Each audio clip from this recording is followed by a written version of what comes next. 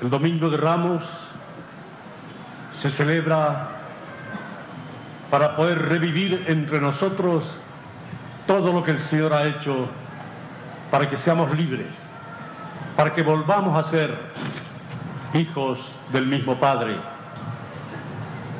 No es la Semana Santa un espacio para divertirnos o para relegar las dificultades y los problemas que sentimos cada día. Tenemos que entrar a la Semana Santa con el mismo espíritu de Jesucristo. Él que era Dios, dice Pablo, él que era Dios no dudó un solo instante en hacerse uno de nosotros, en hacerse un servidor. Y él sufrió todo aquello que el profeta había señalado ya con anterioridad lo sufrió en su propia persona, en su propio cuerpo, por la salvación de todos. Pero no termina en el fracaso, ni termina en la muerte, ni termina en el sepulcro.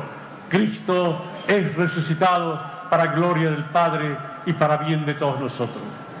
Ese espíritu tiene que acompañarnos en esta Semana Santa.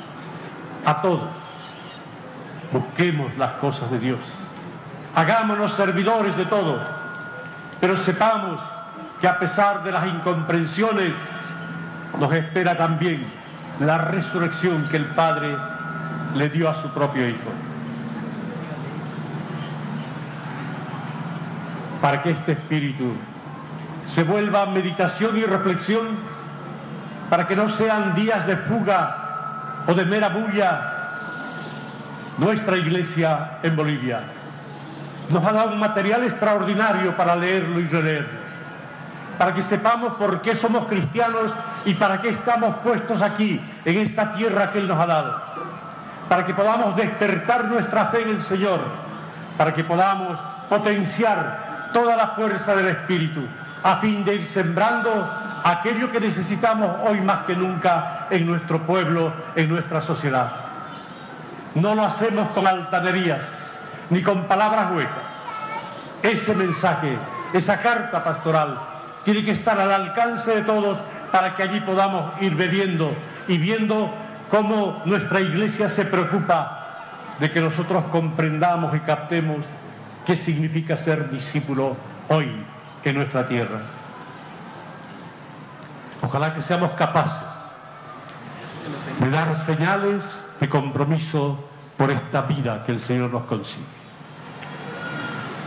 La pasión nos lleva inexorablemente a contemplar a Jesús en la cruz. Y eso nos conmueve, y eso nos conmociona. Pero Dios tiene sus planes. La cruz no es el final, es la resurrección. Y a veces nuestra gente, nosotros mismos, somos capaces de adornar las cruces y nos olvidamos de la vida del Señor que sigue de un lugar a otro ofreciendo vida, paz y esperanza para todos.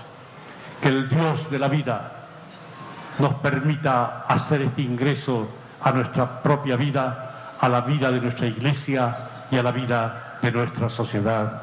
Amén. Amén.